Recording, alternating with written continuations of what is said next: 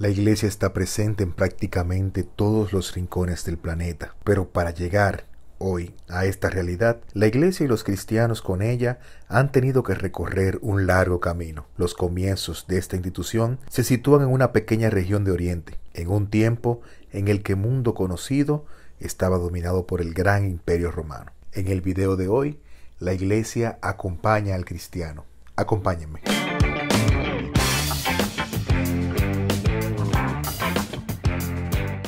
¿Qué tal jóvenes? Sean bienvenidos a una nueva experiencia en este salón de clases.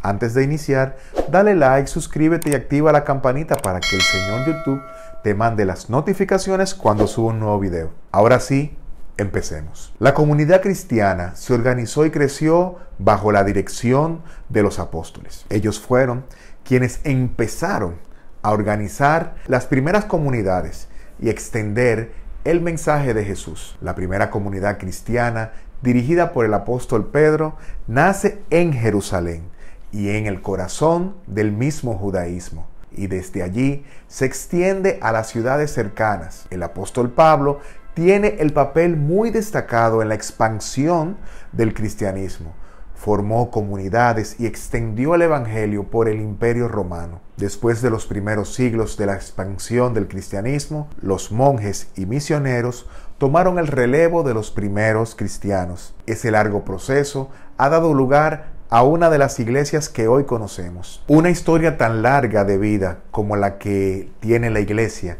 necesariamente tiene que estar salpicada de aciertos y de errores. Hoy, la iglesia sigue anunciando el mensaje de Jesús y se hace presente en muchas situaciones difíciles de la vida de millones de personas. Como dice el Papa Francisco en su carta Evangelii Gaudium, la iglesia está llamada a salir de sí misma e ir hacia las periferias humanas, detener el paso, dejar de lado la ansiedad para mirar a los ojos y escuchar o renunciar a las urgencias para acompañar al que se quedó al costado del camino. Tras la muerte de Jesús, los apóstoles permanecieron encerrados por miedo a los judíos.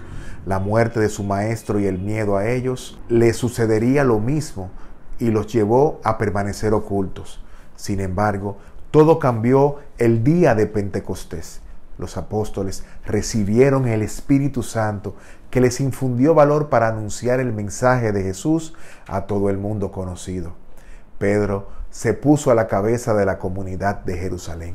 El libro de los Hechos de los Apóstoles, que nos cuenta los orígenes del cristianismo, ofrece una descripción de cómo era la vida de la primera comunidad de cristianos en Jerusalén. En los inicios, los cristianos de Jerusalén seguían practicando las tradiciones judías, como acudir al templo o respetar el descanso del sábado. Por eso los vecinos consideraban a estos como otro grupo más que pertenecía al judaísmo. Sin embargo, aunque se sentían herederos de la tradición judía, los cristianos se consideraban una nueva comunidad. El libro de los Hechos, cuando habla de los cristianos, utiliza la palabra griega eclesia, que significa asamblea, palabra que también se utiliza para describir la reunión del pueblo de Israel en el desierto. Esto indica que los cristianos se consideraban el nuevo pueblo de Dios. La nueva comunidad se caracterizaba por escuchar las enseñanzas de los apóstoles o lo que se llamaba catequesis, la fracción del pan o la Eucaristía, que se celebraba en las casas de los cristianos y que se acompañaba de una comida. La caridad que ponía en común todo lo que tenían para repartirlo entre los necesitados. La unidad tenía una sola alma y un solo corazón, y también la oración. Jesús le confió a Pedro la misión de cuidar y confirmar en la fe a los demás discípulos. Pedro es quien anunció la muerte y resurrección de Jesús por medio de un discurso y signos que iba realizando y bautizos a los judíos paganos. Pedro inició así un proceso de evangelización que culminó con la llegada a Roma, donde predicó a los cristianos de esta ciudad. En Roma, hacia los años 64 y 67, Nerón inició una persecución contra los cristianos y en ella Pedro fue crucificado. En esa misma persecución, Pablo murió decapitado. y los cristianos consideraban a Pedro y a Pablo las columnas de su iglesia. Por eso el protagonismo de estos dos al comienzo del cristianismo. Pedro como guía y representante de los apóstoles, cuando bautizó al centurión romano Cornelio y a toda su familia, abrió el anuncio del Evangelio a los paganos, los no judíos, también llamados gentiles, pero fue Pablo el apóstol que impulsó la idea de que el Evangelio debe ser proclamado para todas las personas. Pablo se encargó de anunciar a Jesús más allá de las fronteras del judaísmo y predicó en territorios situados en el Mediterráneo, Asia Oriental, eh, Grecia, Roma. Por esto, Pablo es conocido como el apóstol de los gentiles. Pablo de una persona de carácter profundamente religioso y apasionado, antes de ser seguidor de Jesús, Pablo era judío del grupo de los fariseos. Su defensa apasionada del judaísmo lo llevó a ser un perseguidor implacable de los cristianos. Incluso aprobó y presenció la ejecución de Esteban, el primer mártir. Pero un día, según cuenta el propio Pablo, en el que se dirigía a Damasco para detener a algunos cristianos, encontró a Jesús en el camino. Y desde ese momento la vida de Pablo cambió radicalmente. Jesús le encomendó la misión de ser su apóstol. Tras ser bautizado, Pablo fue misionero entre los paganos y viajó y fundó nuevas comunidades en las ciudades que visitaba. Una vez más, Pablo mostró una gran pasión y convicción en sus nuevas creencias y en la misión que le encomendó Jesús, el que fuera perseguidor de Cristo, dio su vida por él en Roma. Las persecuciones de cristianos comenzaron al poco tiempo de la muerte de Jesús en Jerusalén. Los primeros en iniciarlas fueron los judíos que no querían que los apóstoles hablaran en público sobre la persona de Jesús resucitado.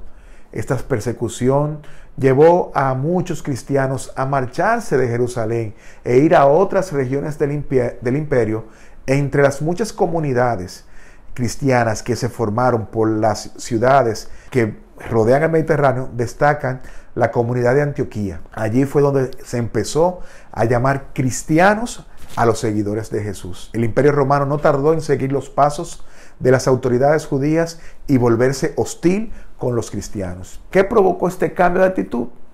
La no asistencia de los cristianos a los espectáculos de los circos, su no participación en los sacrificios a los dioses romanos y el no dar culto al emperador. También el no tener templos y reunirse de manera clandestina en sus casas. ¿Y de qué les acusaba el imperio? Les acusaba de muchas cosas, pero dos de ellas muy graves. Primero, de ateísmo y segundo, de practicar costumbres contrarias a la moral como el canibalismo, ya que comían el cuerpo de Jesús. El primer emperador que persiguió a los cristianos fue Nerón. Los acusó de haber provocado el incendio de Roma. Pero no todos los emperadores persiguieron a los cristianos y eso propició largos periodos de calma. En los inicios del siglo IV se produjo un cambio trascendental en la relación del poder político de Roma con los cristianos. El emperador Constantino en el año 313 estableció la tolerancia religiosa con el edicto de Milán Gracias a esta orden imperial, el cristiano dejaba de ser un religioso más y se convertiría en una de las religiones del imperio. Esta era la manera como Constantino ayudaba eh, a Dios, pues frente a Magencio obtuvo la victoria gracias a él. Constantino ofreció al cristianismo muchos territorios y edificios, el culto abierto, incluso mandó construir la basílica sobre la tumba de San Pedro. En el año 380, con el edicto de Tesalónica, el emperador Teodosio da un paso más. Convirtió al cristianismo en una religión oficial del imperio. Esto puso supuso que los ciudadanos del imperio debían hacerse cristianos y abandonar las demás religiones que además fueron prohibidas. Así el cristianismo pasó a ser una religión perseguida a ser una religión oficial y única del imperio romano. Desde ese momento comenzó una cristianización de toda la vida social, dando lugar a una civilización y una cultura marcadamente cristiana que perdurará hasta los días de hoy. La situación no solo trajo grandes ventajas, también nuevos problemas. Contaminación por parte del poder político de la iglesia y algunos de sus miembros, desviaciones del mensaje cristiano, la falta de libertad para hablar y actuar, rupturas y separaciones entre hermanos, etc. En medio de este panorama, la iglesia siguió con su impulso evangelizador y se expandió por el resto de Europa y el Nuevo Mundo. A esta nueva expansión contribuyeron los monjes y los monasterios eh, y el mundo se convirtió al cristianismo. Quiero concluir este video con una frase de uno de mis autores literarios favoritos, José Saramago, quien dijo, sin muerte no hay resurrección y sin resurrección no hay iglesia. Hasta aquí nuestro encuentro de hoy.